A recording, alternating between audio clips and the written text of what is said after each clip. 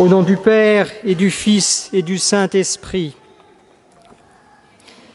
L'évangile de ce jour nous rapporte la rencontre de Jésus avec une personne muette, rendue muette par un démon. Les évangiles évoquent plusieurs fois Satan, le diable et les autres démons. La tradition de l'Église et le catéchisme de l'Église catholique rappellent que ce sont des anges créés bons au départ par Dieu et par un choix malheureusement irréversible mais libre, ils ont refusé d'adorer et d'obéir à Dieu. Ils sont devenus méchants et mauvais et ils ont donné naissance à l'enfer. Il ne faut pas confondre avec les enfers au pluriel, ces jours de tous ceux qui attendaient le Christ des justes de l'Ancien Testament. Et depuis ce temps-là, ils tentent d'associer l'homme à leur rébellion contre Dieu.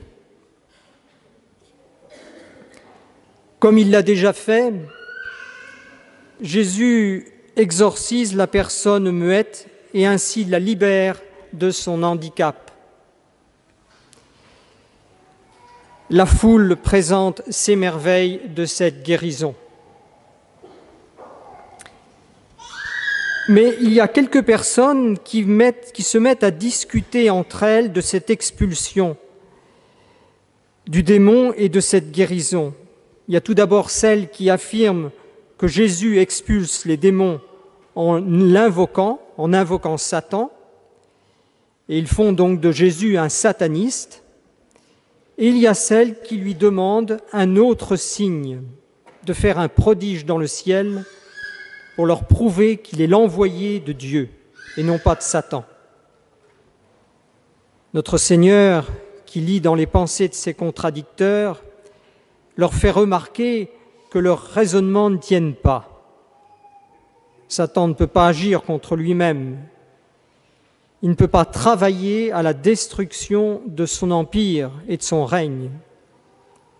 Il ne peut pas permettre l'expulsion d'un démon là où il a établi son emprise. Et notre Seigneur poursuit. Si l'expulsion d'un démon est l'œuvre du chef des démons, les fils de ceux qui lui parlent, quand ils font des exorcismes, en quel nom leur font-ils? Devant l'embarras des contradicteurs, notre Seigneur affirme qu'il les expulse évidemment par la puissance de Dieu.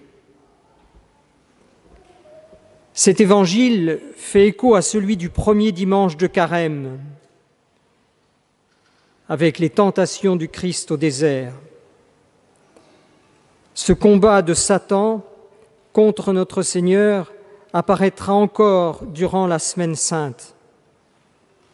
En réalité, toute sa vie ici-bas, durant toute sa vie ici-bas, notamment durant sa vie apostolique, notre Seigneur a dû affronter Satan et ses alliés. Il a dû lutter contre lui. Ce combat est celui de la lumière contre les ténèbres. Pour nous, il faut reconnaître que Satan est toujours à l'œuvre. Il est le prince de ce monde. Il est le maître de ce monde. Il est présent dès que l'homme refuse à Dieu l'adoration, la louange et l'action de grâce. Il est présent dès que l'homme refuse d'adorer Dieu d'adhérer à lui et à sa lumière. Il est présent derrière la plupart des instances internationales, derrière les nations et les gouvernements qui refusent à Dieu sa place et qui rejettent ses commandements. Satan est présent dans notre société, caché derrière toute loi, tout projet de loi qui met Dieu de côté qui s'oppose à lui, qui s'oppose à la loi de l'Ancien Testament et à la loi évangélique. Satan est à l'affût dans nos vies. Dès que nous quittons l'adoration, l'observation des commandements de Dieu, la prière quotidienne, la louange et notre intention de faire le bien. Satan est là pour nous suggérer toute démobilisation, tout reniement et toute diminution dans le culte dû à Dieu. Connaissant bien nos faiblesses et nos blessures, il est habile et prompt à agir sur notre imaginaire. Il est le prince de l'imaginaire. Effectivement, notre corps, notre sensibilité, nos sens sont des proies faciles pour lui. Nous ne pouvons échapper à son emprise qu'en devenant de plus en plus des combattants pour la foi. Le vrai chrétien est un combattant. Il mène d'abord un combat personnel, privé, contre lui-même, contre une partie exactement de lui-même. À cet effet, comme l'enseigne Saint Paul, il doit revêtir pour ce combat l'armure de Dieu, c'est-à-dire chercher la vérité et l'avoir pour ceinture, pratiquer la justice envers Dieu et les hommes et la posséder comme une cuirasse, avoir à cœur l'annonce de l'évangile du Christ qui forme en quelque sorte ses chaussures, s'armer d'une grande foi afin qu'elle devienne son bouclier contre les erreurs et les hérésies.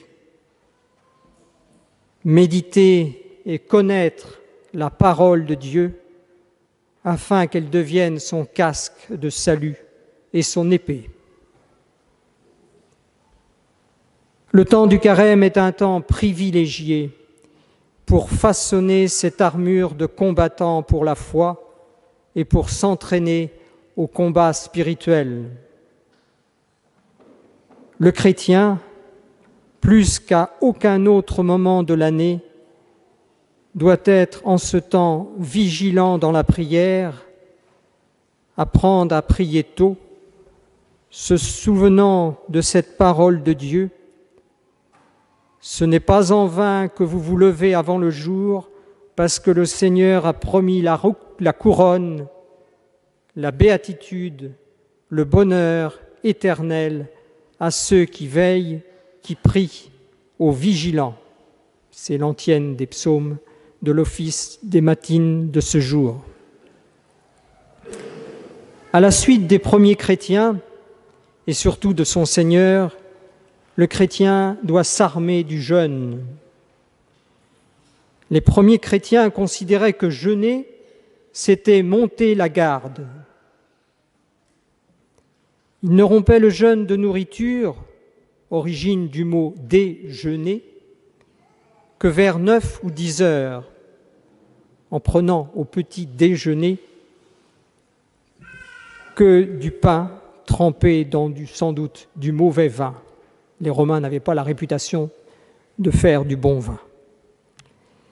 Les jours de jeûne, les grands jours de jeûne, le mercredi et le vendredi, ils se privaient de ce premier repas et ne déjeunaient qu'à partir de midi, comme aujourd'hui dans l'Église grecque catholique et grecque orthodoxe, les Melkites. Nos frères moines coptes orthodoxes en Orient, en Égypte exactement, ne rompent le jeûne du vendredi qu'avec les premières vêpres, qu'avec les vêpres du jeudi, pardon, du vendredi, c'est-à-dire qu'ils jeûnent depuis la veille jusqu'au lendemain soir. Le jeune chrétien est associé à la prière, au silence de la langue et à une occupation manuelle ou intellectuelle et à une certaine stabilité. Le voyageur a plus de mal à jeûner. Le saint pape Jean-Paul II a souligné la nécessité aujourd'hui de le faire précéder ou au moins accompagner d'un jeûne dans l'usage des médias et notamment d'Internet. Pas de carême sans un certain jeûne vis-à-vis de ces moyens de communication horizontale.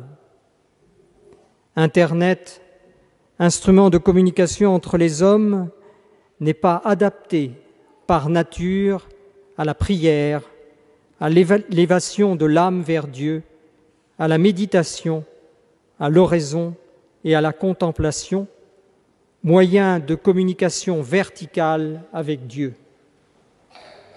Internet ne favorise pas le silence intérieur, ne creuse pas le désert intérieur où Dieu se manifeste comme un souffle fragile, une brise légère ou le murmure d'une source.